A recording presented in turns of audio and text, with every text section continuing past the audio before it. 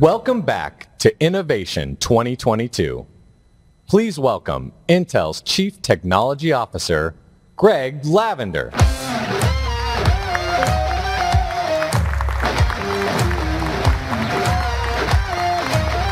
so glad to be here. As CTO, I represent really tens of thousands of engineers who are productively working across the company every day, 19,000 of which are software engineers, which often surprises people. We're going to talk a lot about software, but also about the hardware and how the hardware and the software play together well to deliver the value that we can bring to the market across our entire portfolio.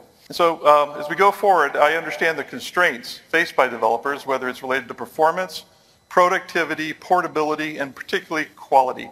As everybody knows in the company by now, I'm a real stickler for quality, and we're not going to ship second-rate products. We're going to ship first-rate leading-edge projects, products. So my job at Intel, my team and I are working hard to remove all the barriers that impede your ability as developers to maximize your productivity on our platforms. A global development survey recently conducted by the Evans Data Group in late 2021 revealed that 90% of the 25 million estimated developers globally are using software developed and or optimized by Intel, and only a fraction of them actually know it. We've done such a good job about being quiet about all the software innovations that we provide, not just at the firmware, the BIOS, the foundational layer of our software stack, but across the whole open source ecosystem uh, that we've seeded all the optimization code across all major technologies, uh, including working with our ISV commercial partners to make sure everything runs extremely well on our whole family of processors, CPUs, GPUs, uh, and even our FPGAs. So Intel has always been this corporate contributor to the Linux kernel. And as I said, as Linus once said, that is what makes Linux so good, is that you put something in and that effort multiplies and the value that we all get out of it is really a positive feedback cycle. So this sort of think of openness as kind of a sort of nutrition.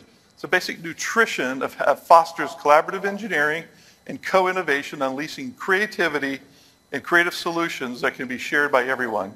So TensorFlow 2.9 was released in May of this year, and this is an important release because Intel had put its oneAPI, one DNN, that's our deep, deep neural network technology, into those ecosystems, into TensorFlow in particularly. And so now when you just download it, and there have been over 10 million downloads of that version, it just automatically accelerates and works on Intel processors, including the ones we haven't yet released, but we'll have, have available in our Intel Developer Cloud. And we're also working with Google as a founding member and contributor to the OpenXLA project. If you haven't heard about it, I recommend you go look it up. It's going to be really fundamentally, fundamentally transformational in the way that we make sure that when you write your AI ML code, you can compile it and run it everywhere and not be sort of restricted to a particular kind of device.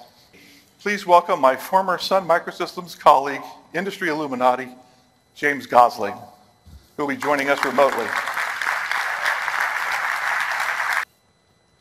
Well, so so so um, you know, one of the the, the sort of folk principles at Sun years and years ago was that it doesn't matter how many employees you have, um, there are always smarter people outside your company. It's both innovation and it's also understanding your customers' needs.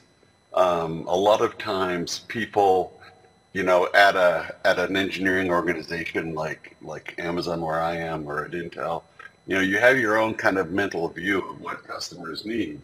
And, and you try to make that as close to what real customers need, but it's never quite right.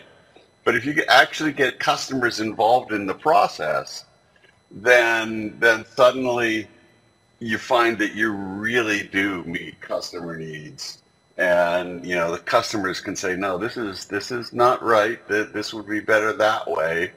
And you can do it or the customer can do it and they can submit it and submit a pull request and um, you know the the whole process accelerates and gets smoother gets deeper and it just works better for everybody i want to talk a little bit more about this idea of open accelerated computing and what does it mean and both why it is and why it's important because i think this is really important for the industry and i think intel again we want to take a leadership in promoting open source technology open standards and open process so that the whole industry benefits. And then we'll compete with everybody at the hardware level, but let's not penalize people at the software level. We need an enriched, powerful software ecosystem that everybody can use seamlessly. And as I said a minute ago, 90% of developers today are using Intel accelerated technology. They don't even know it, and that's the way it should be. So in some ways, we are lifting a page from James's playbook for Java. That's what inspired me to kind of have come, him come and talk to us. Where the, where the big breakthrough was enabling developers to write once, run anywhere, without having to change that low-level code. How do we foster this new open way of programming uh, hardware accelerators to create open accelerated computing? So I looked around the industry, talked to a lot of people, and I, I discovered there's this brilliant set of 85 plus engineers based in Edinburgh, Scotland, and a company called Codeplay, which you probably never heard of. And this company, led by the CEO Andrew, uh, has been doing this for about 20 years, mostly in the HPC community, because the high performance computing community is a big, are big supporters of, of uh, open source and just getting the job done on high performance computing, and they've been our customers for many decades. And so um, we acquired Codeplay, but we did something very unique. We kept them separate as an independent managed subsidiary. So beginning this December, we'll start shipping 2023 versions of Intel's oneAPI toolkits. It's a collection of 42 different tools. These toolkits fully support the Intel fourth generation scalable Xeon processors, codenamed Sapphire Rapids, and as well as our data center and ARC GPUs and Agilex FPGAs. It's already there. We'll start shipping those in January. Um, we, already, sorry, we already have the support today, but we'll be shipping the 2023 versions of what we have. The 2022.3, the third quarter release, will be available shortly, which incorporates updates to all of our other 2022 toolkits in that release. So you can start developing today with oneAPI toolkits, download them for free, access them via your favorite repository, and then we go to the next layer is where things get interesting. It's that whole open source ecosystem I've been talking about. It's like, you know, like Java, like Python. Uh, I mentioned PyTorch, TensorFlow, OpenVINO. There's just tremendous thousands, thousands of systems, software libraries, runtimes, Kafka, you know, MySQL, you name it. It's all there. We optimize all that code for you. And so I have a bunch of software developers. We have software developers in the company that just do this every day, and we work with key ISVs as well, which are, is not open source, to make sure that they leverage all those, all that advantages. And they consume a lot of open source too. It's in their products, you just don't know it. And so really this idea of building these sort of value layers, market enabling hardware, foundational software, the middleware stacks, languages, frameworks, and tools, you know, to kind of get to the next layer of market differentiating technology, Intel and Leidos are piloting the Project Amber attestation service with Intel SGX on Intel third generation Xeon platforms for future use in our mobile medical clinics. Our clinical staff performs medical exams and processes health information for our U.S. military uh, veterans. So today, our joint efforts with Accenture, we are announcing the release of the third set of AI additional reference kits. This is three additional sets of AI reference kits for the healthcare industry that will help clinicians review medical code classifications, identify imaging anomalies, and facilitate claims reviews. This, again, healthcare is a dominant area where this is happening. These kits expand the reference kits that we've already released in July for a broad range of use cases, and all these kits are available as an on-ramp onto AI, and it's all available for, for open for, for, for, for download, from, sorry, for download from GitHub. So you can go there and check, and every month we'll be updating these kits. Red Hat and Intel have a long history of collaboration and building open ecosystems. Our goal is to make it easy to develop and deploy in open hybrid cloud architectures. And the Katana team working hand in hand with the Intel team, using the fourth generation Intel Xeon scalable processors, were able to deliver 16x speedups on distributed graph partitioning and 4.7x speedups on distributed GNN training through the use of Intel AMX and bfloat 16 precision. This shows us the power of combining the next generation hardware and software together. Ultimately, through innovative collaboration, we're able to deliver deep insights on connected knowledge at lightning speed, and with it, we're revolutionizing the drug discovery and development process and saving lives. So what you see here is the landing page. It's the landing page, it's cloudintel.com. So that's the starting point. This is the typical activities for users to register, to get an account. And if we scroll down in this page, you'll see these different services that we are planning for Intel Developer Clouds. Some of it we will see in the, the upcoming demos. It's very interesting stuff.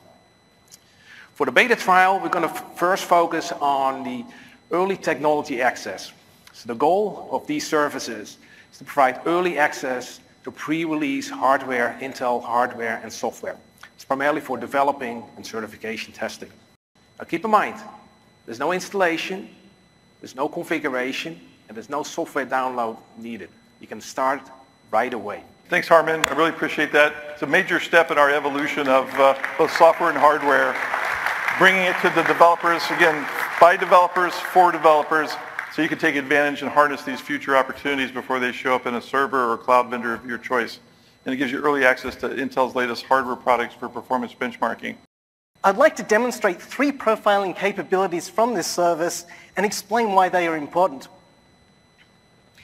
The first is CPU flame graphs. Many of you may already be using these. They have become the staple for performance observability in the industry. And this visualization shows you the shape of the software that you're running.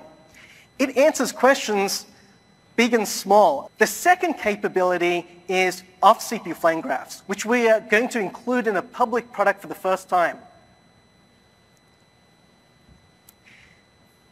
This is the companion to CPU flame graphs as it shows performance when you are not on CPU, when it's the time blocked on I.O., locks, the schedule, and other events. The third capability is CPI flame graphs. That's another visualization I've created, and we're now going to include in a public product for the first time.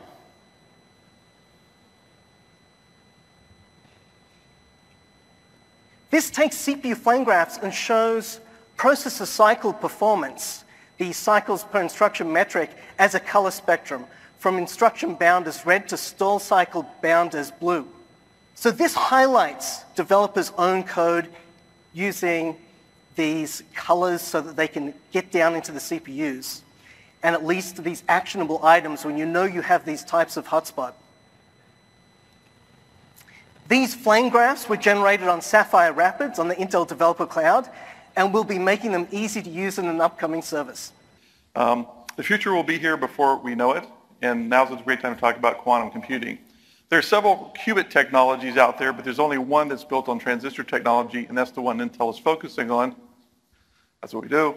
And our silicon spin qubit approach taps into Intel's deep know-how in how to develop transistor technologies and leverages our decades of experience in manufacturing transistors and as Pat says, exploiting every element on the periodic chart when we need to go there.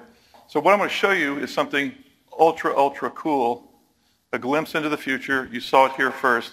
This is a 300 millimeter wafer from our research lab. Let me see if I can zone in the light here to give you a sense of what you're going to, what you see. There's 10,000 quantum arrays on this 300 millimeter wafer. And one of the things uh, we're announcing today is our Quantum SDK for quantum simulation so that you developers can download the Quantum SDK. And this allows developers to program quantum algorithms using simulated qubits. The SDK consists of the Intel Quantum Compiler that's written in C++. So if you're a C++ programmer, when we talk about accelerated computing, you can, you can sort of simulate you know, what accelerated computing can look like. It's a standard LLVM-based runtime with quantum extensions.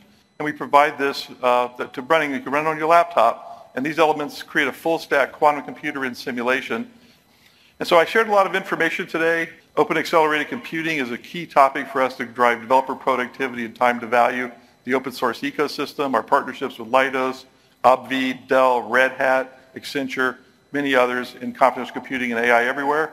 It's real. It's here today. You can use it. And uh, we look forward to you basically trying things out. Join our Intel Developer Cloud prototype, or beta, beta system. And um, we're ready to be here as your partner and help you accelerate what you want to do.